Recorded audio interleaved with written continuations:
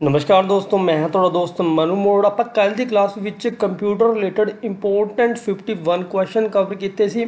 Just ਉਹ one liner question ਸੀ, ਜੇ ਤੁਸੀਂ ਉਹ ਕਲਾਸ ਨਹੀਂ ਦੇਖੀ, ਤਾਂ ਇਸ ਵੀਡੀਓ ਦੇ ਐਂਡ ਸਕਰੀਨ ਵਿੱਚ ਤੁਹਾਨੂੰ ਪਹਿਲੀ ਕਲਾਸ ਦਾ ਲਿੰਕ ਮਿਲ ਜਾਏਗਾ। ਅੱਜ ਦੀ ਕਲਾਸ ਵਿੱਚ ਆਪਾਂ ਟੋਟਲ ਨੈਟਵਰਕਿੰਗ ਬਾਰੇ ਗੱਲ ਕਰਾਂਗੇ। ਇਸ ਤੋਂ ਬਾਅਦ ਨੈਕਸਟ ਕਲਾਸ ਹੋਊਗੀ, ਜਿਸ ਵਿੱਚ ਆਪਾਂ ਇੰਟਰਨੈਟ ਬਾਰੇ ਗੱਲ ਕਰਾਂਗੇ। ਅੱਜ ਆਪਾਂ ਥਿਊਰੀ ਵਿੱਚ ਨੈਟਵਰਕਿੰਗ ਬਾਰੇ ਗੱਲ ਕਰ ਰਹੇ ਹਾਂ। ਆਖਿਰ ਨੈਟਵਰਕਿੰਗ ਹੁੰਦੀ ਕੀ ਹੈ ਠੀਕ ਹੈ? ਕਾਫੀ ਇੰਪੋਰਟੈਂਟ ਟੌਪਿਕ ਹੈ ਦੋਸਤੋ ਪਲੀਜ਼ ਵੀਡੀਓ ਨੂੰ ਦੇਖਿਓ ਨਾ, ਨਾਲ ਦੀ ਨਾਲ ਇਸ ਨੂੰ ਰਾਈਟ ਡਾਊਨ ਜ਼ਰੂਰ ਕਰ ਲਓ। ਸਭ ਤੋਂ ਪਹਿਲਾਂ ਗੱਲ ਕਰੀਏ ਨੈਟਵਰਕਿੰਗ ਦੀ ਕੀ ਹੈ? ਇਹ ਨੈਟਵਰਕਿੰਗ ਕੀ ਹੈ ਜੇ? ਇਸ ਦੀ ਆਪਾਂ ਥੀਮ ਸਮਝੀਏ, ਤਾਂ ਇਸ ਦੀ ਜਿਹੜੀ ਐਗਜ਼ਾਮਪਲ ਹੈ, ਉਹ ਕੀ ਹੋ ਸਕਦੀ ਹੈ? ਇਹ ਕੰਪਿਊਟਰ ਸਿਸਟਮ ਹੈ, ਜੋ ਡਾਟਾ ਸਾਂਝਾ ਕਰਨ ਲਈ ਆਪਸ ਵਿੱਚ ਜੁੜਿਆ ਹੁੰਦਾ ਹੈ। ਦੇਖੋ, ਆਪਾਂ ਕੋਈ ਡਾਟਾ ਸ਼ੇਅਰ ਕਰਨਾ ਹੈ, ਉਹ ਕਿਸੇ ਨਾ ਕਿਸੇ ਨੈਟਵਰਕ ਦੇ ਥਰੂ ਜੁੜੇ ਹੁੰਦੇ ਆ, ਜਾਂ ਆਪਾਂ ਕੰਪਿਊਟਰ ਦੇ ਥਰੂ ਕਿਸੇ ਕਿਸੇ ਦੇ ਕੰਪਿਊਟਰ ਦੇ ਕੁਝ ਸ਼ੇਅਰ ਕਰ ਰਹੇ ਹਾਂ। ਕੋਈ ਨਾ ਕੋਈ ਨੈਟਵਰਕ ਦਾ ਹੁੰਦਾ, ਉਹ ਚਾਹੇ ਵਾਇਰ ਦਾ ਨੈਟਵਰਕ ਹੁੰਦਾ ਹੈ ਜਾਂ ਹਵਾ ਵਿੱਚ ਰੇਂਜ ਦਾ ਨੈਟਵਰਕ ਹੁੰਦਾ ਹੈ ਨਾ ਉਸ ਨੂੰ ਆਪਾਂ ਨੈਟਵਰਕਿੰਗ ਦੇ ਨਾਮ ਨਾਲ ਜਾਣਦੇ ਹਾਂ। ਸਿੰਪਲ ਜਿਹੀ ਗੱਲ ਹੈ। ਜੇ ਓਵਰਆਲ ਖਤਮ ਕਰਨੀ ਹੈ, ਇੱਕ ਲਾਈਨ 'ਚ ਇਹ ਗੱਲ ਤਾਂ ਡਾਟਾ ਨੂੰ ਸਾਂਝਾ ਕਰਨ ਦਾ ਇੱਕ ਤਰੀਕਾ ਹੈ ਨੈਟਵਰਕਿੰਗ ਠੀਕ ਹੈ। ਹੁਣ ਨੈਕਸਟ ਕੀ ਆ ਜਾਂਦਾ ਡਾਟਾ ਸਾਂਝਾ ਕਰਨ ਦੀਆਂ ਕਿਸਮਾਂ ਕਿੰਨੇ ਤਰ੍ਹਾਂ ਦੀਆਂ ਹੁੰਦੀਆਂ ਹਨ? ਤਾਂ ਯਾਦ ਰੱਖਿਓ ਸਿੰਪਲੈਕਸ ਮੋਡ ਹਾਫ ਡੁਪਲੈਕਸ ਤੇ ਫੁੱਲ ਡਿਪਲੈਕਸ ਇਹਨਾਂ ਤਿੰਨਾਂ ਰਿਗਾਰਡਿੰਗ ਐਗਜ਼ਾਮ ਵਿੱਚ ਪੱਕਾ ਇੱਕ ਕੁਐਸਚਨ ਜ਼ਰੂਰ ਪੁੱਛਿਆ ਜਾਂਦਾ ਹੈ। ਇਹਨਾਂ ਤਿੰਨਾਂ ਵਿੱਚੋਂ ਕੁਝ ਵੀ ਪੁੱਛ ਲਿਆ ਜਾਵੇਗਾ ਕਿ ਸਿੰਪਲੈਕਸ ਮੋਡ ਕੀ ਹੁੰਦਾ ਹੈ ਹਾਫ ਡਿਪਲੈਕਸ ਮੋਡ ਕੀ ਹੁੰਦਾ ਹੈ ਜਾਂ ਫੁੱਲ ਡਿਪਲੈਕਸ ਮੋਡ ਕੀ ਹੁੰਦਾ ਹੈ। ਓਕੇ ਇਹ ਧਿਆਨ ਨਾਲ ਲਿਖ ਲਿਓ ਤੇ ਸਮਝ ਲਿਓ। ਸਭ ਸਭ ਤੋਂ ਪਹਿਲਾਂ ਗੱਲ ਕਰੀਏ ਸਿੰਪਲੈਕਸ ਮੋਡ ਦੀ। ਸਿੰਪਲੈਕਸ ਮੋਡ ਇੱਕ ਦਿਸ਼ਾ ਵੀ ਹੈ। ਮਤਲਬ ਕਿ ਸਿਰਫ ਇਸ ਨੈਟਵਰਕ ਵਿੱਚ ਆਪਾਂ ਇੱਕ ਦਿਸ਼ਾ ਤੋਂ ਆਪਾਂ ਜੋ ਆਪਣਾ ਡਾਟਾ ਹੈ ਜਾਂ ਕੋਈ ਵੀ ਇਨਫੋਰਮੇਸ਼ਨ ਹੈ ਉਹ ਸਿਰਫ ਇੱਕ ਦਿਸ਼ਾ ਤੋਂ ਹੀ ਲੈ ਸਕਦੇ ਆ। ਆਪਾਂ ਉਸ ਨੂੰ ਵਾਪਸ ਸੈਂਡ ਨਹੀਂ ਕਰ ਸਕਦੇ। ਠੀਕ ਹੈ ਓਵਰਆਲ ਗੱਲ ਕਰੀਏ ਡਾਟਾ ਸੰਚਾਰ ਦਾ ਮਾਧਿਅਮ ਹੈ ਸਿੰਪਲੈਕਸ ਮੋਡ ਤੇ ਸਿੰਪਲੈਕਸ ਮੋਡ ਇੱਕ ਦਿਸ਼ਾ ਵਿੱਚ ਡਾਟਾ ਭੇਜਣ ਲਈ ਚੈਨਲ ਦੀ ਪੂਰੀ ਸਮਰੱਥਾ ਦੀ ਵਰਤੋਂ ਕਰ ਸਕਦਾ ਹੈ। ਹੁਣ ਐਗਜ਼ਾਮਪਲ ਦੇਖ ਸਕਦੇ ਹੋ ਟੀਵੀ ਅਤੇ ਰੇਡੀਓ ਹੁਣ ਇਹ ਬੱਚੇ ਆ ਜਿਹੜੇ, ਇਹ ਟੀਵੀ ਦੇਖ ਰਹੇ ਨੇ। ਮਤਲਬ ਇਹ ਟੀਵੀ ਤੋਂ ਹੈ ਜਿਹੜਾ ਡਾਟਾ ਲੈ ਰਹੇ ਨੇ ਜਾਂ ਇਨਫੋਰਮੇਸ਼ਨ ਲੈ ਰਹੇ ਨੇ, ਹੁਣ ਇਹ ਕੁਝ ਵੀ ਬੋਲੀ ਜਾਣ, ਦੋਨੇ ਬੱਚੇ ਆਪਸ ਵਿੱਚ ਕੁਝ ਕੁਝ ਵੀ ਬੋਲੀ ਜਾਣ ਜਾਂ ਟੀਵੀ ਨੂੰ ਕੁਝ ਵੀ ਬੋਲੀ ਜਾਣ ਇਹ, ਤਾਂ ਟੀਵੀ ਨੂੰ ਉਹ ਚੀਜ਼ ਸੁਣਾਈ ਨਹੀਂ ਦੇਵੇਗੀ ਤੇ ਨਾ ਹੀ ਸਮਝ 'ਚ ਆਵੇਗੀ।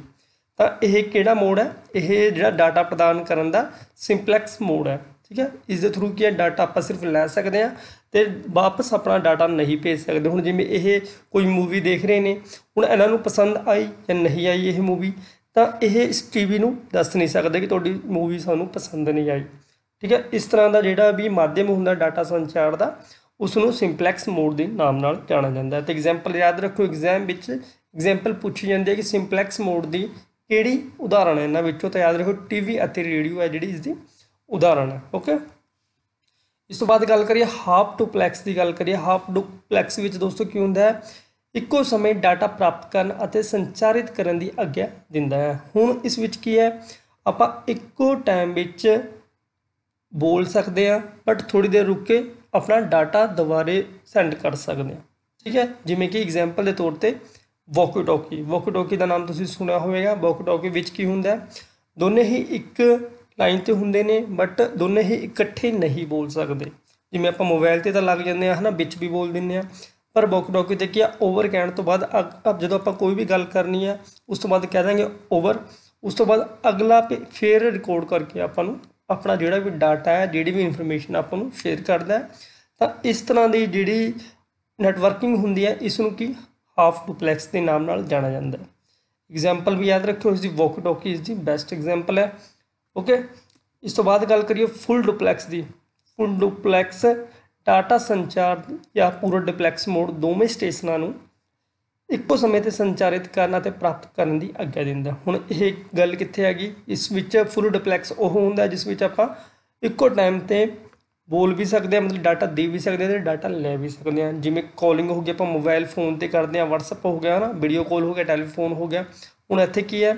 ਆਪਾਂ ਨੂੰ ਵੇਟ ਨਹੀਂ ਕਰਨੀ ਪੈਂਦੀ ਵੀ ਪਹਿਲਾਂ ਹਾਂ ਬਈ ਤੂੰ ਡਾਟਾ ਆਪਦਾ ਸੈਂਡ ਕਰ ਦੇ, ਮੇਰੇ ਕੰਨਾਂ ਤੱਕ ਪਹੁੰਚਾ ਦੇ ਡਾਟਾ ਫਿਰ ਮੈਂ ਤੁਹਾਨੂੰ ਡਾਟਾ ਸੈਂਡ ਕਰਾਂਗੇ ਉੱਥੇ ਕੀ ਅਗਲਾ ਬੋਲ ਵੀ ਰਿਹਾ, ਆਪਾਂ ਵਿੱਚ ਵੀ ਬੋਲ ਲਾਂਗੇ, ਕੋਈ ਦਿੱਕਤ ਨਹੀਂ ਹੁੰਦੀ। ਮਤਲਬ ਕਿ ਇੱਕੋ ਟਾਈਮ ਤੇ ਆਪਾਂ ਡਾਟਾ ਲੈ ਵੀ ਸਕਦੇ ਹਾਂ ਤੇ ਡਾਟਾ ਦੇ ਵੀ ਸਕਦੇ ਹਾਂ। ਓਕੇ ਐਗਜ਼ਾਮਪਲ ਇਹ ਹੈ, ਸਿੱਧਾ ਹਿਸਾਬ ਇਸ ਦਾ ਹੀ ਹੈ ਮੇਨਲੈਂਡ ਡਾਟਾ ਭੇਜ ਵੀ ਸਕਦੇ ਹਾਂ ਤੇ ਡਾਟਾ ਪ੍ਰਾਪਤ ਵੀ ਕਰ ਸਕਦੇ ਹਾਂ ਇੱਕੋ ਟਾਈਮ ਤੇ।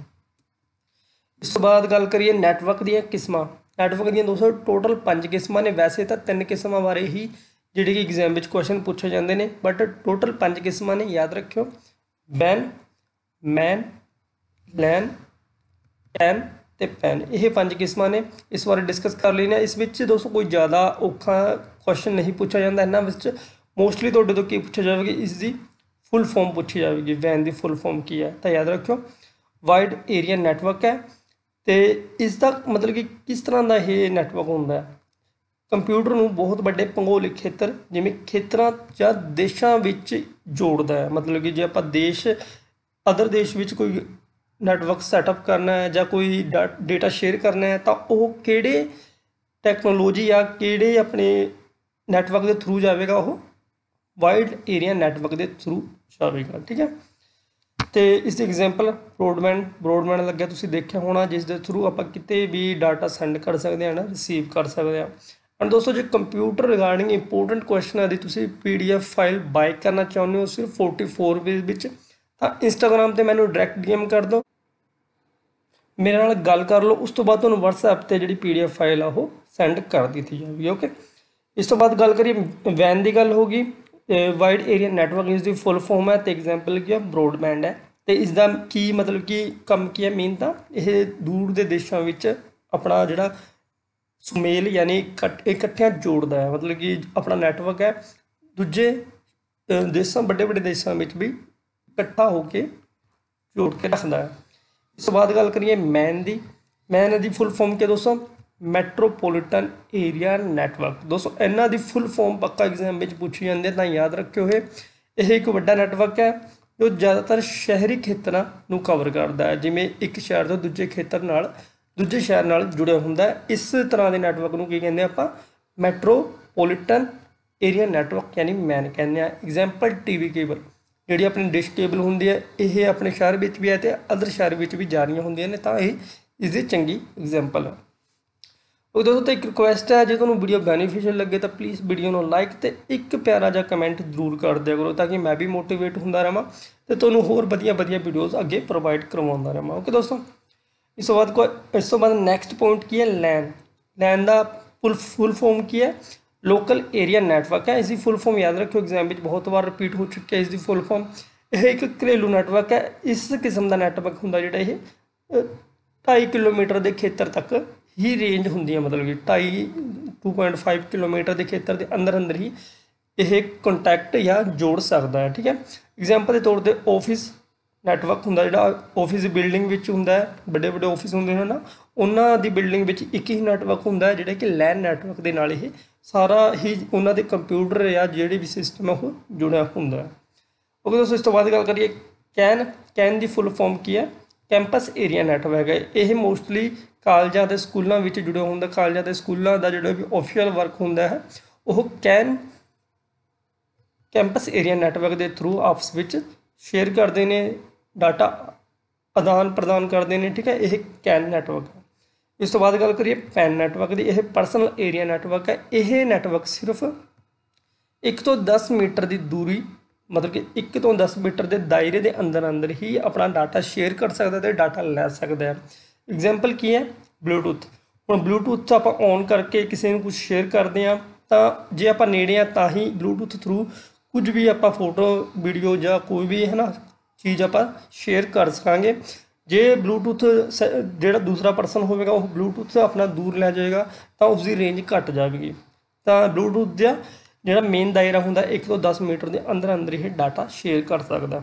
ਉਹ ਦੋਸਤੋ, ਇਸ ਤੋਂ ਬਾਅਦ ਇਹ ਗੱਲਾਂ ਤੁਹਾਨੂੰ ਮਤਲਬ ਕਿ ਜ਼ਿਆਦਾ ਇੰਪੋਰਟੈਂਟ ਤਾਂ ਨਹੀਂ ਹੈ ਬਟ ਐਗਜ਼ਾਮ ਵਿੱਚ ਆ ਸਕਦੀ ਹੈ ਇਹ ਪੁਆਇੰਟਸ ਤੇ ਇਹ ਵੀ ਯਾਦ ਰੱਖ ਲਿਓ ਕਿ ਈਥਰਨੈਟ ਕੀ ਹੁੰਦਾ ਹੈ ਇੰਟਰਨੈਟ ਕੀ ਹੁੰਦਾ ਤੇ ਐਕਸਟਰਨੈਟ ਕੀ ਹੁੰਦਾ ਤੇ ਇੰਟਰਨੈਟ ਕੀ ਹੁੰਦਾ ਇੰਟਰਨੈਟ ਤੇ ਇੰਟਰਨੈਟ ਦੋਸਤੋ ਅਲੱਗ-ਅਲੱਗ ਵਰਡ ਨੇ, ਦੇਖਣ ਵਿੱਚ ਇਹ ਇੱਕੋ ਜਿਹੇ ਲੱਗਦੇ ਨੇ ਬਟ ਬੋਲਣ ਵਿੱਚ ਅਲੱਗ ਹੈ। ਇੰਟਰਨੈਟ ਤੇ ਇੰਟਰਨੈਟ ਓਕੇ ਸਭ ਤੋਂ ਪਹਿਲਾਂ ਗੱਲ ਕਰੀਏ ਈਥਰਨੈਟ ਕੀ ਹੁੰਦਾ? ਇਹ ਉਹ ਟੈਕਨੋਲੋਜੀ ਹੈ ਜੋ ਆਮ ਤੌਰ ਤੇ ਵਾਇਰਡ ਲੋਕਲ ਏਰੀਆ ਨੈਟਵਰਕ ਵਿੱਚ ਵਰਤੀ ਜਾਂਦੀ ਐਗਜ਼ਾਮ ਵਿੱਚ ਇਹ ਪੁਆਇੰਟ ਬਹੁਤ ਵਾਰ ਹੀ ਰਿਪੀਟ ਹੋ ਚੁੱਕਿਆ ਹੈ।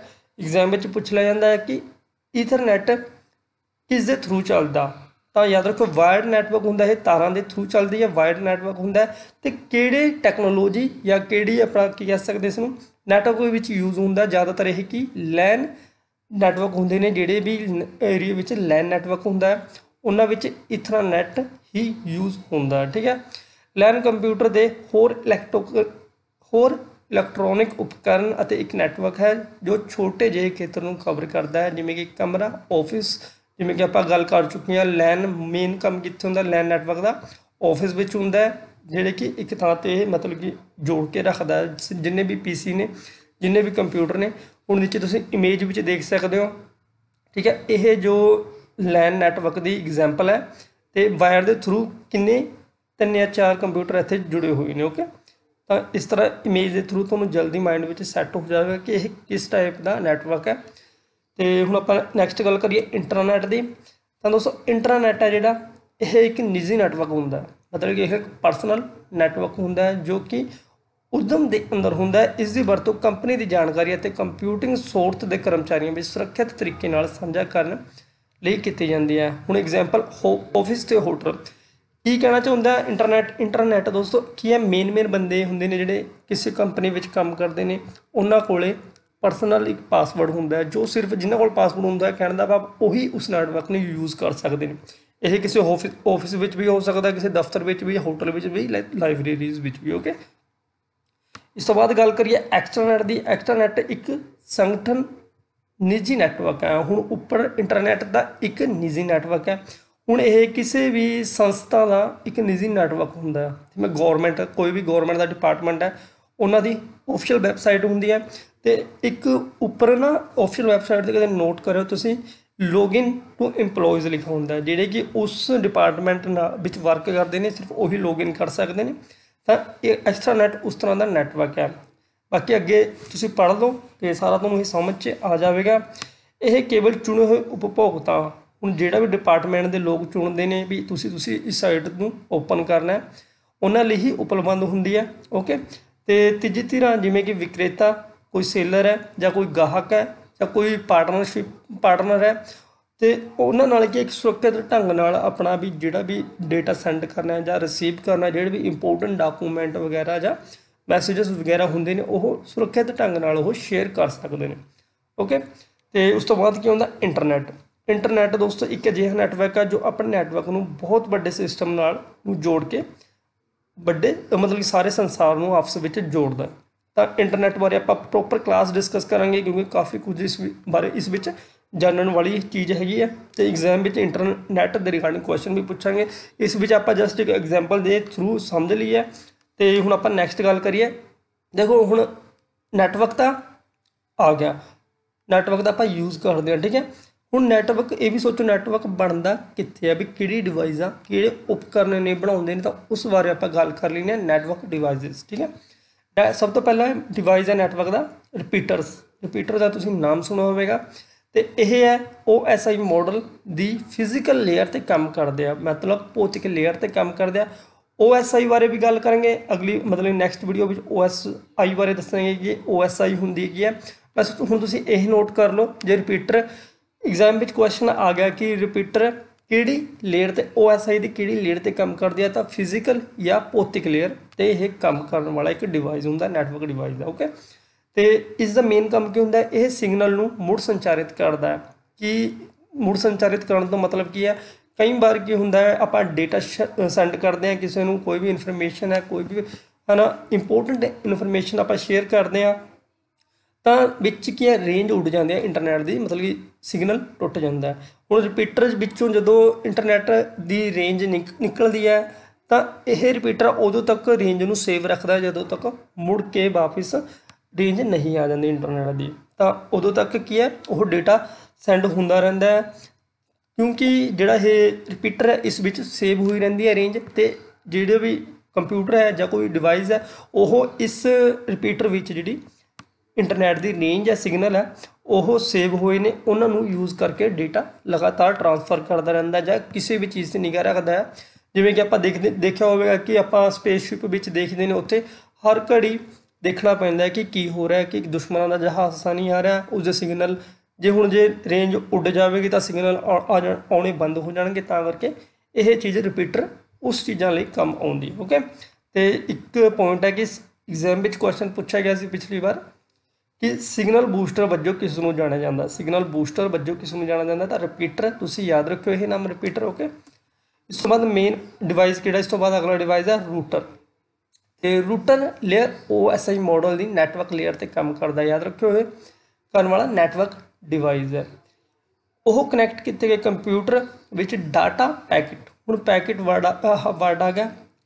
ਹੁਣ ਕਨਫਿਊਜ਼ਨ ਹੋਏ ਕਿਉਂਕਿ ਐਗਜ਼ਾਮ ਵਿੱਚ ਪੁੱਛਿਆ ਜਾਂਦਾ ਹੈ ਕਿ ਰੂਟਰ ਵਿੱਚ ਪੈਕੇਟ ਇਸ ਨੂੰ ਸੰਬੋਧਿਤ ਕਰਦਾ ਹੈ। ਤਾਂ ਇਹ ਜੋ ਵੀ ਆਪਾਂ ਟੈਕਸਟ ਮੈਸੇਜ ਕਰਦੇ ਆ ਨਾ, ਜੋ ਵੀ ਲਿਖ ਕੇ ਭੇਜਦੇ ਆ ਤਾਂ ਰੂਟਰ ਦੀ ਜਿਹੜੀ ਅਸੈਂਬਲ ਹੁੰਦਾ ਰੂਟਰ ਵਿੱਚ ਉਸ ਨੂੰ ਇਹ ਪੈਕੇਟ ਦੇ ਨਾਮ ਨਾਲ ਜਾਣਦਾ ਹੈ ਓਕੇ ਤੇ ਪੈਕੇਟ ਦੇ ਨਾਮ ਨਾਲ ਜਾਣਦਾ ਓਕੇ ਇਸ ਤੋਂ ਬਾਅਦ ਤਾਂ ਰੂਟਰ ਮੰਜ਼ਿਲ ਦੇ ਪਤੇ ਨੂੰ ਜਾਂਚ ਕਰਦਾ ਹੈ। ਮੇਨ ਕੰਮ ਕੀ ਹੈ? ਸਿੰਪਲ ਲੈਂਗੁਏਜ ਵਿੱਚ ਸਮਝਾਵਾਂ ਰੂਟਰ ਦਾ ਮੇਨ ਕੰਮ ਕੀ ਹੈ? ਇਸ ਦਾ ਬੈਸਟ ਰਸਤਾ ਦਿਖਾਉਣਾ, ਇਸ ਦਾ ਮੇਨ ਕੰਮ ਇਹ ਹੈ। ਮਤਲਬ ਕਿ ਆਪਾਂ ਡਾਟਾ ਸੈਂਡ ਕਰਤਾ, ਠੀਕ ਹੈ? ਕਿਸੇ ਨੂੰ ਮੈਸੇਜ ਕਰਤਾ। ਹੁਣ ਇਹ ਇਹ ਰੂਟਰ ਵਿੱਚ ਉਹਦੀ ਜਾ ਕੇ ਰੂਟਰ ਵਿੱਚ ਰੂਟਰ ਕੀ ਹੈ? ਜਾਂਚ ਕਰੂਗਾ ਕਿ ਕਿਹਦੇ ਨੰਬਰ ਤੇ ਸੈਂਡ ਕੀਤਾ ਇਹਨੇ, ਕਿਹੜੇ EMI ਨੰਬਰ ਤੇ ਸੈਂਡ ਕੀਤਾ। ਤਾਂ ਉਹ ਡਾਇਰੈਕਟ ਉਸੇ ਰੂਟ ਤੇ ਜਿਹੜਾ ਕਿ ਆਪਣਾ ਮੈਸੇਜ ਆ ਉਹ ਸੈਂਡ ਕਰ ਦਿੰਦਾ। ਠੀਕ ਹੈ? ਇਹ ਮੇਨ ਕੰਮ ਹੈ, ਬਾਕੀ ਕਨਫਿਊਜ਼ਨ ਨਾ ਹੋ ਰੂਟਰ ਦੀ ਇਮੇਜ ਤੁਸੀਂ ਇਸੇ ਨੀਚੇ ਦੇਖ ਸਕਦੇ ਹੋ। ਵਾਈਫਾਈ ਨਾਰਮਲੀ ਹੀ ਆਪਾਂ ਘਰੇ ਦੇਖਿਆ ਹੋਵੇਗਾ, ਕਾਫੀ ਘਰੇ ਲੱਗਿਆ ਹੁੰਦਾ ਓਕੇ ਇਸ ਤੋਂ ਬਾਅਦ ਗੱਲ ਕਰੀਏ ਬ੍ਰਿਜ ਬ੍ਰਿਜ ਇੱਕ ਪੁਲ ਦਾ ਕੰਮ ਕਰਦੀ ਹੈ ਤੇ ਸਾਰੇ ਪੈਕਟ ਯਾਨੀ ਮੈਸੇਜਾਂ ਨੂੰ ਸਵੀਕਾਰ ਕਰਦਾ ਹੈ ਤੇ ਉਹਨਾਂ ਸਾਰਿਆਂ ਨੂੰ ਦੂਜੇ ਪਾਸੇ ਵਧਾਉਂਦਾ ਹੈ। ਇਹ ਇੱਕ ਬੁੱਧੀਮਾਨ ਉਪਕਰਨ ਹੈ ਕਿਉਂਕਿ ਇਸ ਦਾ ਜੋ ਸਿਸਟਮ ਹੈ, ਇਹ ਸਿਰਫ ਚੋਣਵੇਂ ਮੈਸੇਜਾਂ ਨੂੰ ਹੀ ਪਾਸ ਕਰਦਾ ਹੈ। ਮਤਲਬ ਕਿ ਜੋ ਆਪਾਂ ਸਿਲੈਕਟ ਕੀਤੇ ਹੁਣ ਇੱਥੇ ਦੇਖ ਸਕਦੇ ਹੋ, ਇਹ ਬ੍ਰਿਜ ਹੈ ਇਮੇਜ ਵਿੱਚ ਦੇਖੋ ਬ੍ਰਿਜ ਹੈ। ਹੁਣ ਜੇ ਇਸ ਪੀਸੀ ਨੇ ਕਿਹਾ ਕਿ ਇਸ ਕੋਲੇ ਡੇਟਾ ਭੇਜਣਾ ਹੈ ਤਾਂ ਇਹ ਇੱਕ ਬੁੱਧੀਮਾਨ ਬੁੱਧੀਮਾਨ ਬ੍ਰਿਜ ਹੈ। ਹੁਣ ਇਹ ਕੀ ਕਰੇਗਾ? ਸਿਰਫ ਇਸ ਕੋਲ ਹੀ ਭੇਜੇਗਾ। ਇਹ ਗਲਤੀ ਨਹੀਂ ਕਰੇਗਾ ਕਿ ਇਸ ਦਾ ਡਾਟਾ ਇਹ ਇਸ ਨੂੰ ਭੇਜ ਦੇਗਾ ਓਕੇ ਤਾਂ ਇਹ ਇੱਕ ਹੋਰ ਮੇਨ ਗੱਲ ਯਾਦ ਰੱਖਿਓ। ਇਹ ਰੂਟਰ ਹੈ ਜਿਹੜਾ, ਇਹ ਲੈਨ ਜਿਹੜਾ ਲੈਨ ਨੈਟਵਰਕ ਹੈ, ਉਸ ਨੂੰ ਜੋੜਨ ਦਾ ਕੰਮ ਕਰਦਾ ਹੈ। ਠੀਕ ਹੈ, ਤੇ ਰੂਟਰ ਵਿੱਚ ਸੌਰੀ ਬ੍ਰਿਜ ਵਿੱਚ ਕੀ ਕਿਹਾ ਜਾਂਦਾ ਹੈ? ਕੰਪਿਊਟਰਾਂ ਨੂੰ, ਜਿਹੜੇ ਵੀ ਕੰਪਿਊਟਰ ਜੁੜੇ ਹੁੰਦੇ ਨੇ ਬ੍ਰਿਜ ਦੇ ਦੇ ਨਾਲ ਜੁੜੇ ਹੁੰਦੇ ਉਹਨਾਂ ਨੂੰ ਨੋਡ ਦੇ ਨਾਮ ਨਾਲ ਜਾਣਿਆ ਜਾਂਦਾ ਓਕੇ ਬਾਕੀ ਜ਼ਿਆਦਾ ਇੰਪੋਰਟੈਂਟ ਨਹੀਂ ਹੈ ਬਟ ਫਿਰ ਵੀ ਆਪਾਂ ਸ਼ੁਰੂ ਤੋਂ ਸਟਾਰਟ ਕੀਤਾ ਤਾਂ ਸਭ ਕੁਝ ਕਲੀਅਰ ਕਰਦੇ ਹੋਏ ਚੱਲਾਂਗੇ ਟੈਨਸ਼ਨ ਨਾ ਲਿਓ। ਹੁਣ ਐਗਜ਼ਾਮ ਦਾ ਪਤਾ ਨਹੀਂ ਐਗਜ਼ਾਮੀਨਰ ਦਾ ਕਿੱਥੋਂ ਵੀ ਕੋਈ ਵੀ ਕੁਐਸਚਨ ਪੁੱਟ ਕਰ ਸਕਦਾ ਜੇ ਥਿਉਰੀ ਚੰਗੀ ਤਰ੍ਹਾਂ ਪੜ੍ਹੀ ਹੋਵੇਗੀ ਤਾਂ ਤੁਹਾਡੇ ਮਾਈਂਡ ਐਟਲੀਸਟ ਮਾਈਂਡ ਵਿੱਚ ਹੋਵੇਗੀ ਕਿ ਹਾਂ, ਇਹ ਇਸ ਤਰ੍ਹਾਂ ਮਤਲਬ ਸਿਸਟਮ ਸੀ, ਇਸ ਤਰ੍ਹਾਂ ਚੱਲਦਾ ਸੀ, ਮਤਲਬ ਕਿ ਇਹ ਰੂਟਰ ਇਸ ਨੂੰ ਭੇਜਦਾ ਸੀ, ਹਨਾ, ਇਸ ਵਿੱਚ ਇਸ ਨੂੰ ਨੋਡ ਕਿਹਾ ਜਾਂਦਾ ਸੀ। ਤਾਂ ਕਨਫਿਊਜ਼ਨ ਨਹੀਂ ਹੋਵੇਗੀ ਐਗਜ਼ਾਮ ਪੱਕਾ ਮਤਲਬ ਵਧੀਆ ਤਿਆਰੀ ਹੋ ਜਾਏਗੀ ਯਾਰ, ਕੋਈ ਦਿੱਕਤ ਨਹੀਂ ਹੈ। ਤੇ ਇਸ ਤੋਂ ਬਾਅਦ ਗੱਲ ਕਰੀਏ ਹੱਬ ਦੀ। ਹੱਬ ਦੋਸਤੋ OSI ਮਾਡਲ ਦੀ ਇਹ ਵੀ ਕਿਹੜਾ ਫਿਜ਼ੀਕਲ ਲੇਅਰ ਤੇ ਹੀ ਕੰਮ ਕਰਦਾ। ਐਗਜ਼ਾਮ ਵਿੱਚ ਦੋਸਤੋ, ਇਹਨਾਂ ਚੀਜ਼ਾਂ ਬਾਰੇ ਪੁੱਛਿਆ ਜਾ ਜਾਵੇਗਾ OSI ਕੀ ਹੁੰਦਾ? ਇਸ ਬਾਰੇ ਆਪਾਂ ਨੈਕਸਟ ਕਲਾਸ ਵਿੱਚ ਡਿਸਕਸ ਕਰਾਂਗੇ। ਆਈ ਨੋ ਕਾਫੀ ਬੱਚੇ ਕਨਫਿਊਜ਼ ਹੋਣਗੇ ਕਿ OSI ਹੁੰਦਾ ਕੀ ਆ। ਨੈਕਸਟ ਕਲਾਸ ਵਿੱਚ ਤੁਹਾਨੂੰ ਮੈਂ ਕੰਪਲੀਟਲੀ ਇਹ ਸਮਝਾ ਦਾਂਗਾ। ਠੀਕ ਹੈ? ਇਹ ਇੱਕ ਜਿਹੜਾ ਭੌਤਿਕ ਲੇਅਰ ਤੇ ਕੰਮ ਕਰਦਾ ਹੈ ਜੋ ਕਿ ਨੈਟਵਰਕ ਵਿੱਚ ਡਿਵਾਈਸ ਨੂੰ ਜੋੜਨ ਲਈ ਵਰਤੇ ਜਾਂਦੇ ਨੇ। ਮਤਲਬ ਕਿ ਇੱਥੇ ਦੇਖ ਸਕਦੇ ਹੋ, ਇਸ ਤੋਂ ਪਤਾ ਲੱਗਦਾ ਹੀ ਹੈ, ਇੱਥੇ ਜਿਹੜੇ ਕਿ ਇਸ ਦੇ ਪਲੱਗਸ ਨੇ। ਇਸ ਦੇ ਪਲੱਗਸ ਨੇ ਤੇ ਇਸ ਵਿੱਚ ਕੀ ਹੈ? ਕੰਪਿਊਟਰ ਜਾਂ ਨੋਡਸ ਜੋੜੇ ਜਾਂਦੇ ਨੇ। ਆਮ ਤੌਰ ਤੇ ਹਬ ਹੈ ਜਿਹੜੇ ਲੈਨ ਨੈਟਵਰਕ ਵਿੱਚ ਯੂਜ਼ ਕੀਤਾ ਜਾਂਦਾ। ਓਕੇ ਦੋਸਤੋ। ਤੇ ਇਸ ਵਿੱਚ ਬਹੁਤ ਸਾਰੀ ਪੋਰਟਾਂ ਹੁੰਦੀਆਂ ਨੇ। ਜਿਵੇਂ ਕਿ ਤੁਸੀਂ ਤੁਸੀਂ ਇੱਥੇ ਦੇਖ ਸਕਦੇ ਹੋ, ਇਹ ਪੋਰਟ ਨੇ। ਇਸ ਨਾਲ ਕੰਪਿਊਟਰ ਜੁੜੇ ਹੁੰਦੇ ਨੇ। ਓਕੇ ਤੇ ਇੱਕ ਪੁਆਇੰਟ ਯਾਦ ਰੱਖਿਓ, ਜਿਹੜਾ ਇਹ ਹੈ ਹਬ ਹੈ। ਹਬ ਨੂੰ ਕੀ ਡੰਪ ਟਰਮੀਨਲ ਕਿਹਾ ਜਾਂਦਾ ਹੈ। ਡੰਪ ਮੈਨੇ ਦੋਸਤੋ ਕੀ ਹੁੰਦਾ? ਮੂਰਖ ਮੂਰਖ ਹੁੰਦਾ ਡੰਪ ਮੈਨੇ, ਜਾਂ ਬੁੱਧੂ ਹੁੰਦਾ, ਬੁੱਧੂ ਕਹ ਲਓ, ਕਿਉਂ ਕਹਿੰਦੇ ਨੇ? ਕਿਉਂਕਿ ਇਸ ਦੀ ਕੋਈ ਆਪਦੀ ਮੈਮਰੀ ਨਹੀਂ ਹੁੰਦੀ। ਮਤਲਬ ਕਿ ਇੱਧਰ ਤਾਰ ਪਾਤੀ, ਸਿੰਪਲ ਜੀ ਗੱਲ ਹੈ, ਇਸ ਪੋਰਟ ਵਿੱਚ ਤਾਰ ਪਾਤੀ ਤੇ ਇੱਧਰੋਂ ਤਾਰ ਪਾਤੀ। ਹੁਣ ਜੋ ਵੀ ਡਾਟਾ ਆਵੇਗਾ, ਇਹ ਆਪ ਨਹੀਂ ਰੱਖਿਆ, ਜਿਹੜੇ ਵੀ ਕੰਪਿਊਟਰ ਵਿੱਚੋਂ ਡਾਟਾ ਆਵੇਗਾ, ਇਹ ਸਿੱਧੀ ਉਰੋਂ ਜਾ ਕੇ ਦੂਸਰੇ ਕੰਪਿਊਟਰ ਵਿੱਚ ਚਲੀ ਜਾਵੇਗੀ, ਠੀਕ ਹੈ? ਇਸ ਕਰਕੇ ਇਸ ਨੂੰ ਡੰਪ ਟਰਮੀਨਲ ਕਿਹਾ ਜਾਂਦਾ ਤੇ ਇਹ ਦੋ ਤਰ੍ਹਾਂ ਦੇ ਹੁੰਦੇ ਨੇ, ਐਕਟਿਵ ਹਬ ਤੇ ਪੈਸਿਵ ਹਬ। ਐਕਟਿਵ ਹਬ ਉਹ ਹੁੰਦੇ ਜਿਹੜੇ ਕਿ ਬਿਜਲੀ ਨਾਲ ਕੰਮ ਕਰਦੇ ਨੇ। ਠੀਕ ਠੀਕ ਹੈ? ਤੇ ਪੈਸਿਵ ਹਬ ਉਹ ਹੁੰਦੇ ਆ ਜਿਨ੍ਹਾਂ ਨੂੰ ਬਿਜਲੀ ਦੀ ਲੋੜ ਨਹੀਂ ਹੁੰਦੀ ਡਾਇਰੈਕਟ ਕਨੈਕਟ ਹੋ ਜਾਂਦੇ ਨੇ ਕੰਪਿਊਟਰ ਨਾਲ। ਠੀਕ ਹੈ? ਸਿੰਪਲ ਜੀ ਗੱਲ ਹੈ ਇਹਦਾ ਆ ਗਈ ਸਮਝ। ਹੁਣ ਲਾਸਟ ਹੈ ਸਵਿਚ ਸਵਿਚ ਇੱਕ ਨੈਟਵਰਕ ਡਿਵਾਈਸ ਹੈ ਇਹ ਤੇ ਉਹਨਾਂ ਡਿਵਾਈਸਾਂ ਤੋਂ ਡਾਟਾ ਪੈਕਟ ਨੂੰ ਅੱਗੇ ਭੇਜਦੀ ਹੈ। ਕੰਮ ਮਤਲਬ ਦੇਖੋ, ਸਭ ਦਾ ਇੱਕੋ ਹੈ ਡਾਟਾ ਪੈਕਟ ਯਾਨੀ ਡਾਟਾ ਮੈਸੇजेस ਨੂੰ ਅੱਗੇ ਭੇਜਦੀ ਹੈ। ਤੇ ਰੂਟਰ ਦੇ ਉਲਟ ਇੱਕ ਸਵਿਚ ਵਿੱਚ ਸਿੰਗਲ ਡਿਵਾਈਸ ਲਈ ਡਾਟਾ ਭੇਜਦੀ ਹੈ। ਹੁਣ ਗੱਲ ਕੀ ਹੈ? ਰੂਟਰ ਕਿਤੇ ਵੀ ਆਪਾਂ ਡਿਵਾਈਸ ਕਰ ਦਾਂਗੇ ਤੇ ਉਹ ਡਾਟਾ ਟਰਾਂਸਫਰ ਕਰ ਦੇਗਾ, ਠੀਕ ਹੈ? ਹੁਣ ਇਹ ਉਸ ਦੇ ਉਲਟ ਕੰਮ ਕਰਦਾ ਹੈ, ਜਿਸ ਨਾਲ ਕੀ ਹੈ? ਇਹ ਸਿੰਗਲ ਡਿਵਾਈਸ ਤੋਂ ਲੈ ਕੇ ਮਤਲਬ ਕਿ ਪਲੱਗ ਇਨ ਕੀਤਾ ਹੋਇਆ, ਤਾਂ ਸਿਰਫ ਸਿੰਗਲ ਡਿਵਾਈਸ ਨੂੰ ਹੀ ਜੋ ਆਪਣਾ ਡੇਟਾ ਜਾਂ ਪੈਕੇਟ ਜਾਂ ਮੈਸੇਜ ਭੇਜੇਗਾ, ਇਸ ਨੂੰ ਇੰਟੈਲੀਜੈਂਟ ਟਰਮੀਨਲ ਵੀ ਕਿਹਾ ਜਾਂਦਾ ਹੈ। ਕਿਉਂ ਕਿਹਾ ਜਾਂਦਾ ਹੈ? ਇੰਟੈਲੀਜੈਂਟ ਟਰਮੀਨਲ ਕਿਉਂਕਿ ਇਸ ਕੋਲ ਆਪਦੀ ਮੈਮਰੀ ਹੁੰਦੀ ਹੈ। ਹੁਣ ਜੋ ਵੀ ਕੰਪਿਊਟਰ ਤੋਂ ਡਾਟਾ ਆਉਂਦਾ ਹੈ, ਜਿਵੇਂ ਇਹ ਕੰਪਿਊਟਰ ਬਣਾਦਾ ਮੈਂ ਇੱਥੇ, ਠੀਕ ਹੈ? ਇਹ ਕੰਪਿਊਟਰ ਬਣਾਤਾ ਲੱਗਦਾ ਤਾਂ ਹੈ ਥੋੜਾ ਮੁੱਦਾ ਤੇ ਇਹ ਡਾਟਾ ਭੇਜਦਾ ਸਵਿਚ ਦੇ ਥਰੂ ਠੀਕ ਹੈ? ਇਧਰੋਂ ਭੇਜ ਦਿੰਦਾ। ਹੁਣ ਇਹ ਹੈ, ਪਹਿਲਾਂ ਸੇਵ ਰੱਖਦਾ ਇੱਥੇ। ਸੇਵ ਕਰ ਲੈਂਦਾ। ਫਿਰ ਆਪਣੇ ਦੂਜੇ ਕੰਪਿਊਟਰ ਨੂੰ ਭੇਜਦਾ, ਜਿਸ ਵਿੱਚ ਇਸਨੇ ਇਹ ਡਾਟਾ ਭੇਜਿਆ, ਠੀਕ ਹੈ? ਇਸ ਕਰਕੇ ਇਸ ਨੂੰ ਇੰਟੈਲੀਜੈਂਟ ਟਰਮੀਨਲ ਵੀ ਕਿਹਾ ਜਾਂਦਾ ਹੈ।